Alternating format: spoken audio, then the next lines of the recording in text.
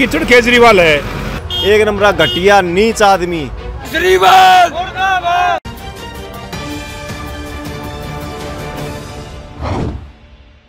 दिल्ली नजफगढ़ के जड़ौदा गाँव में खेतों में पानी जमा होने से किसान और जनता परेशान है। दिल्ली सरकार की उपेक्षापूर्ण रवैये पर स्थानीय निवासियों का गुस्सा फूटा और उन्होंने केजरीवाल और स्थानीय विधायक को जमकर कोसा। समर्थन किया था एक अन्ना अन, अन्ना जी के आंदोलन का।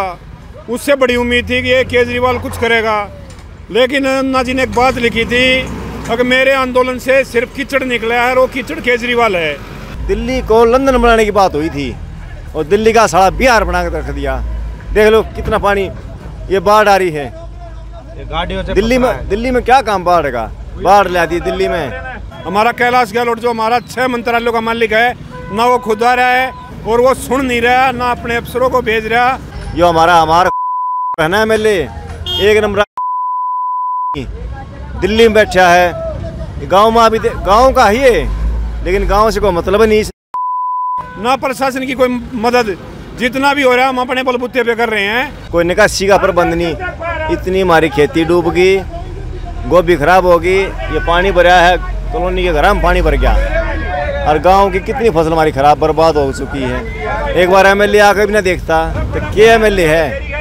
प्रशासन की एक परसेंट मदद नहीं है। गाँव गए देहात के अपने आदमी जुड़ के जो कार्य हो रहा है उसको अपने बाहुबली से कर रहे हैं। अपना पैसा लगा रहे हैं बाकी प्रशासन का कोई सहयोग नहीं है। दिल्ली की सरकार सोई हुई है। हमारे एरिया का एमएलए तो डूब जाके तो मर जा सोच रहा हमने कभी ज़रूरत नहीं है एमएलए की। हम गाली नहीं देना चाहते किसी तय अपर लेकिन इस भाई की आत्मा अंदर से दुख रही अंदर से। अंदर से आत्मा दुख रही है, देखो, ये अंदर से आत्मा दुखती है, ना तो हमने नारे लगाने का शौक, ना हमने किसी से वो शौक। अंदर से जब आवाज़ आती है ना तो इंसान दुखी हो गया, ये देखो। और खेती देखो, इसलिए बाइक से ये जो शब्द बोलते हैं, वे सिर्फ़ दिल से दुखाई दुखते हैं। जब ऐसा शब्द अंदर से आत्मा से निकलती है, ना किसी से, हमारी जाति दुश्मनी नहीं है। हमारी एक आम सेवा, हम नागरिक, आज़ाद नागरिक है। हम अपनी मांग कर सकते हैं, हम अपनी मांग को उठा सकते हैं। अपनी मांग उठाने में भी कोई इतराज हो तो ये बताओ, हम अपनी मांग को भी नहीं उठा सकते क्या? हम अपनी मांग को नहीं उठा सकते। हमारा पूरा गाँव पानी की चपेट में है।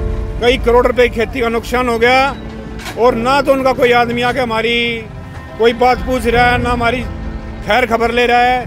बस वहीं से मंत्रालय से किसी को एक दो अधिकारी को बोल दिया, वो वहाँ से झड़का देता कि हमारे पास पूरे संसाधन नहीं है, हम आपकी मदद नहीं कर सकते। केजरीवाल! केजरीवाल! केजरीवाल! केजरीवाल! एमएलए साहब! एमएलए साहब!